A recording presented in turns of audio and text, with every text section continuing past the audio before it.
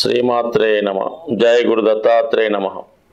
ఈ వీడియోలో మనం రెండు వేల ఇరవై మూడో సంవత్సరం మే నెలలో వృచ్చిక రాశి వారికి మాస ఫలితాలు ఏ విధంగా ఉంటే తెలుసుకుందాం.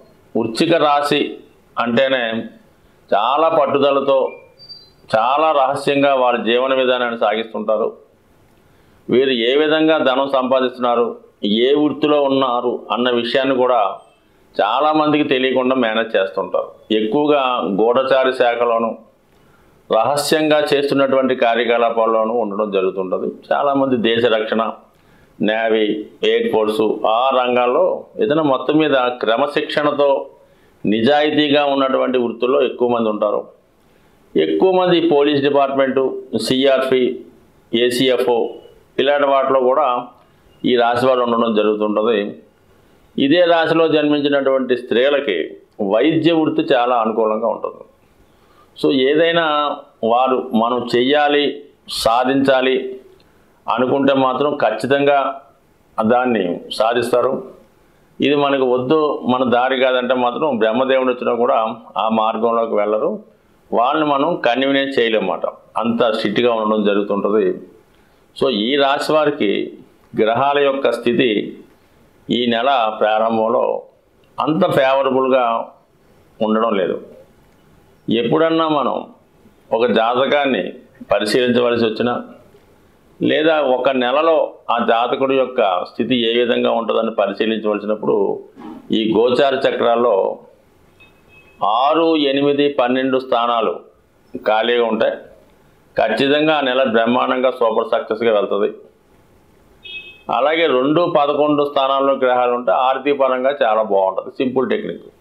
అటువంటిది ఈ రాశి వారికి ఈ నెల ప్రారంభంలో మరి నాలుగు గ్రహాలు ఆరో స్థానంలో రెండు గ్రహాలు అష్టమ స్థానంలో ఒక గ్రహం పన్నెండో స్థానంలో ఉండడం జరిగింది. దానికి తోడు మన జనవరి పద్దెనిమిది నుంచి చతుర్థ స్థానంలో అర్ధాష్టమ శని. ఇవన్నీ కూడా ఒకసారి చూడగానే చాలా క్లమ్జీగా చాలా ఇబ్బందికరంగా ఉండే స్థితి గమనించడం జరుగుతుంటుంది అంటే మొత్తం మీద ఈ నెల వీళ్ళకి బాగులేదు అని నిర్ణయానికి తొందరపడి రావాల్సి ఉంటుంది. కానీ అది సూక్ష్మంగా ఏ గ్రహానికి ఆ గ్రహం పరిశీలించినప్పుడు దాన్ని అనుకూలంగా మలుచుకుంటే చాలా చక్కని అభివృద్ధికరమైన ఫలితాలు రావడం జరుగుతుంది. సో అది ఏ విధంగా మనం గమనిద్దాం. ముందుగా గమనించినప్పుడు రాస్యాధిపతి అంటే లగ్నాధిపతి కుజుడు. మే పదో తారీఖు వరకు అష్టమ స్థానంలో ఉన్నాడు.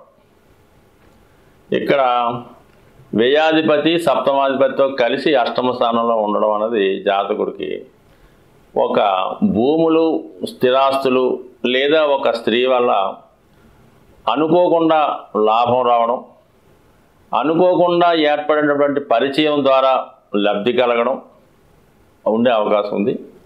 మే పదవ తారీఖు తర్వాత తొమ్మిదవ స్థానంలోకి రావడం జరిగింది. అంటే ఆరవ స్థానాధిపతి రాష్ట్రాధిపతి తొమ్మిదిలోకి వచ్చినప్పుడు ఆటోమేటిక్గా జాతకుడికి వ్యక్తిగత ఇమేజ్ పెరుగుతుంది.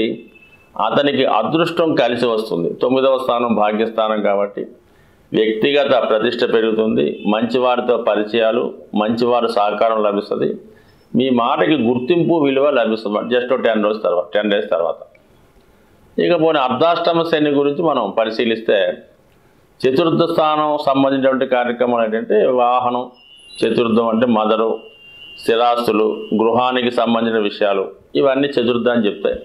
చతుర్థంలో శని ఉన్నప్పుడు మనసుకి కష్టం కలిగించే వార్తలు వినడం జరుగుతుంటుంది అయితే ఒక విధంగా మరి అష్టమ భావ కారకత్వాలు కలిగి ఉన్నటువంటి శని భగవానుడు చతుర్థంలో ఉన్నప్పుడు స్థిరాస్తికి సంబంధించిన విషయాల్లో ఇబ్బంది కలగడం జరుగుతుంటుంది.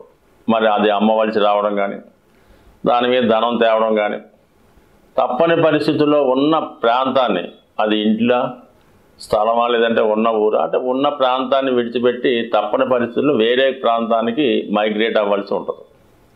అలాగే వాహనాల వల్ల ఇబ్బందులు తల్లిగారి ఆరోగ్య విషయంలో కొద్దిగా ఏమైనా ఇబ్బంది కలగవచ్చు ఇవన్నీ చతుర్థ భావానికి సంబంధించిన కారకత్వాలు ఇబ్బంది ఉంటే దీన్ని జాతకుడు జాగ్రత్తగా ఉపయోగించే వేరే ప్రాంతంలో అంటే విదేశంలోనో ఇతర రాష్ట్రంలోనూ కంపల్సరీగా ఉపాధి అవకాశాలు లభిస్తాయి.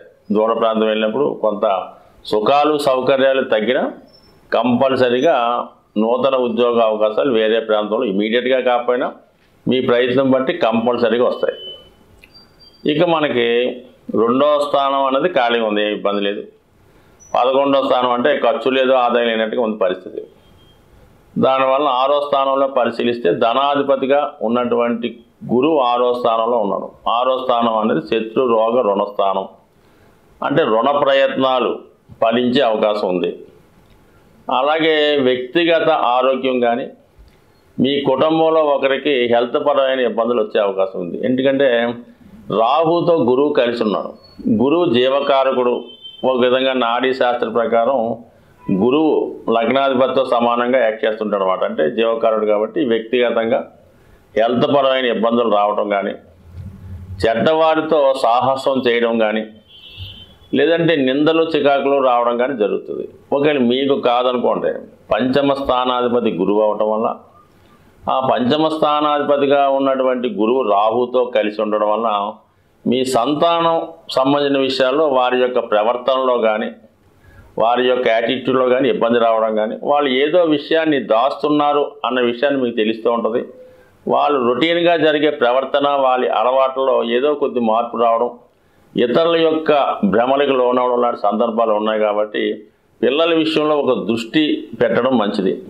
లేదు సంతానం కొరకు లేదంటే ఆల్రెడీ ప్రెగ్నెంటీలో ఉన్నారు. పిల్లల కోసం ప్రయత్నం చేస్తున్నారు. ఈ విషయంలో కూడా పంచమ స్థానాధిపతి గురువు సహజ సంతానకారకుడైనటువంటి గురువు ఆరవ స్థానంలో రాహుతో కలిసి ఉండడం వలన మరి అబార్షన్ లాంటివి జరగడం కానీ మరీ చిన్నపిల్లలు ఎవరన్నా ఉంటే వాళ్ళకి బాలారిష్ట ప్రభావం వల్ల అంతుపట్టని చిన్న చిన్న వ్యాధులు కానీ వచ్చే అవకాశం ఉంటుంది. మొత్తం మీద ఏంటంటే మీకు కానీ మీ సంతానానికి కానీ వ్యాధులు లాంటివి రావడం. మరీ పెద్ద వయసులో ఉన్న వాళ్ళకి ఏంటంటే దీర్ఘకాలిక వ్యాధులు లాంటివి వచ్చే అవకాశం ఉంది కాబట్టి కొద్ది వ్యాధుల విషయంలో జాగ్రత్తగా ఉండడం. ఆర్థిక పరమైన చికాకులు ఏంటంటే ఎక్కువగా ఉంటాయన్నమాట. అంటే మనం ధనం ఒకదానికి తెచ్చి ఏదో అవసరానికి ఉంటుందో దాచిపెట్టుకుంటే అది వేరే వాటికి ఖర్చు ఇబ్బంది పడే అవకాశం ఉంటుంది కాబట్టి ఆర్థిక విషయాల్లో చాలా జాగ్రత్తగా ఉండడం. అయితే ఇక్కడ దశమ స్థానాధిపతిగా ఉన్నటువంటి రవి మే పదిహేను వరకు ఆరో స్థానంలో ఉచ్చులో ఉంటాడు. సో దానివల్ల వృత్తిలో మంచి గుర్తింపు కమాండింగ్ ఉంటుంది. మీరు ఎన్ని చికాకుల్లో ఉన్న వృత్తి సంబంధించిన విషయాల్లో చాలా నిజాయితీగా స్ట్రైట్ ఫార్వర్డ్గా ఉంటారు. అది కొంతవరకు మీకు మంచి గర్వకారణంగా ఉంటుంది వృత్తి విషయాల్లో. ఇక బుధుడు కూడా ఆరో స్థానంలో ఉండడం ఇవన్నీ కూడా మీరు ఎంత కష్టపడుతున్నా దానికి తగ్గ ఫలితం రావడం పక్కన పెడితే వృత్తిలో వృత్తిపరంగా శత్రువులు ఎక్కువ ఎక్కువ అవడం జరుగుతుంటుంది. ఊరిక మీకు సంబంధం లేని వ్యక్తులు ఈ విధంగా ఎవరో ఒకరు మీకు శత్రువులుగా ఏర్పడి ఏదో విధంగా మిమ్మల్ని అన్పాపులర్ చేసే ప్రయత్నాలు కూడా జరుగుతుంటాయి కాబట్టి ఈ తప్పని పని తప్పదు. కరెక్ట్గా ఉన్న వాళ్ళకి వృత్తి కరెక్ట్గా నిర్వహించే వాళ్ళకి శత్రువులు ఏర్పడుతుంటారు అలాగని మనం దాన్ని మానేస్తే మొదటికే మోసం వచ్చే అవకాశం ఉంది కాబట్టి మీ వ్యవస్థలో మీ మార్గంలో మీరు వెళ్ళటం మంచిది తప్ప ఎవరో ఏమనుకుంటారని మాత్రం కొద్దిగా తగ్గిన మనం దారి తప్పిన ఇతరుల ప్రలోభాలకు లొంగిన అది అన్పాపులర్ అయ్యే సూచనలు కూడా ఉన్నాయి. సో ఏదైనా మరి ఇన్ని గ్రహాలు ఈ విధంగా ఉంటే అష్టమంలో శుక్రుడు స్త్రీలకు అనుకూలంగా ఉంటుంది. స్త్రీల వల్ల లాభం అనుకూలత ఏర్పడే అవకాశం ఉంది. వేయస్థానంలో ఉన్నటువంటి కేతు అనవసర ఖర్చులకు కారణమవుతుంటాడు కాబట్టి కొద్ది ఖర్చుల విషయంలో జాగ్రత్తగా ఉంటే మిగతా విషయాల అభివృద్ధి కొరకు ఈ జాతకులు కంపల్సరిగా ప్రతి మంగళవారం హనుమాన్ ఆలయ దర్శనం హనుమాన్ చాలీస పారాయణ వల్ల కంపల్సరిగా మంచి ఫలితం రావడం జరుగుతుంది. సాధారణంగా మనం ఈ గోచార ఫలితాలు ప్రతి రాశికి మనం చెప్పడం జరుగుతుంటుంది. అయితే గోచార ఫలితాలు అన్నది మనకి ఒక ధనయోగం కానీ ఒక వివాహ యోగం కానీ ఒక సంతాన యోగం కానీ ఈ రాశుల యొక్క మార్పు వల్ల జాతకునికి ఏర్పడడం జరుగుతుంటుంది. అయితే జన్మ జాతకంలో ఆ యోగం జాతకుడికి ఉన్నప్పుడు మాత్రమే గోచారంలో ఈ వచ్చినటువంటి ఈ యోగం వల్ల అతనికి ఆ యోగ ఫలితాలు రావడం జరుగుతూ ఉంటుంది. ఉదాహరణకి అతనికి జన్మ జాతకంలో ప్రభుత్వ ఉద్యోగం చేసే అవకాశం లేదు అనుకుందాం. అటువంటి యోగం లేని జాతకుడికి గోచారరీత్యా గురువు ఏ స్థానంలోకి వచ్చినా రవి ఏ స్థానంలోకి వచ్చినా కూడా అతనికి ప్రభుత్వ ఉద్యోగం ఇచ్చే స్థితి మాత్రం ఉండదు. అంటే ఏదైనా జన్మ జాతకంలో ఉంటేనే గోచార ఫలితాలు దాన్ని బలపరుస్తూ ఆ ఫలితాన్ని జాతకుడికి ఇవ్వడం జరుగుతూ ఉంటుంది. సో మనం కామన్గా ఏదో జాతకంలో ఈ అదృష్ట యోగం చెప్తాం.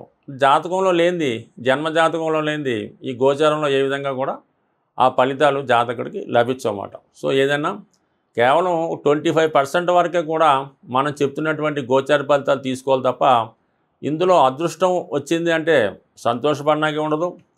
అలాగే దురదృష్టం కలిగింది లేదా ప్రమాదం జరుగుద్ది లేదా ఉద్యోగం పోద్ది అనుకున్నా కూడా బాధపడినా కూడా లేదు. ఏదన్నా సరే జన్మ జాతకంలో ఉన్నటువంటి యోగాల మీదే ఆధారపడి ఉంటాయి. జన్మ జాతకాన్ని బట్టి మొత్తం జాతకం నవాంశం బట్టి అదృష్టం దశాంశం బట్టి ఉద్యోగం సప్తాంశం బట్టి సంతానం ద్వాదశాంశం బట్టి తల్లిదండ్రులు. సో ఈ విధంగా రాశి చక్రంతో పాటు పదహారు చక్రాలు పరిశీలించడం వలన ఆయా భావాలు జాతకుడికి ఏ విధంగా వస్తాయి అన్నది కూలంకషంగా పరిశీలించి ఖచ్చితమైన ఫలితాలు తెలుసుకోవచ్చు. అదీను కూడా ఆ జాతకంలో ఉన్నటువంటి యోగం కూడా దానికి సంబంధించినటువంటి దశ వచ్చినప్పుడు మాత్రమే రావడం జరుగుతూ ఉంటుంది. అంటే జాతకం బాగుండాలి గోచారం సపోర్ట్ చేయాలి దానికి జరుగుతున్నటువంటి దశ కూడా సపోర్ట్ చేసినప్పుడు మాత్రమే జాతకుడు ఆ ఫలితాన్ని పొందగలడు తప్ప కేవలం గోచారంలో వచ్చినంత మాత్రాన మీకు ఆ ఫలితాలు పొందే అవకాశం ఎట్టి పరిస్థితిలో ఉండవు. ఈ విధంగా మీరు పూర్తిగా జాతకాన్ని తెలుసుకోవాలి సంప్రదించాలి అనుకుంటే మాత్రం వ్యక్తిగతంగా మీ జాతకాన్ని పరిశీలించుకొని దాంట్లో ఉన్నటువంటి లోటుపాట్లు సరిదిద్దుకొని మీకు అదృష్టాన్ని ఇచ్చే ఏ ఏ భావాలు మీకు అదృష్టాన్ని ఇస్తాయో దానికి సంబంధించినటువంటి భావాలకి ఆ గ్రహాలకి సరైనటువంటి శాంతితో పరిహారం చేసుకున్నప్పుడు మీ జాతకంలో ఉన్నటువంటి ఫలితాలు మీరు పొందగలరు ఆ పొందగలిగే ప్రయత్నంలో మా వంతు సహకారం మీకు అందించగలిగే ప్రయత్నం చేద్దాం. స్వస్తి.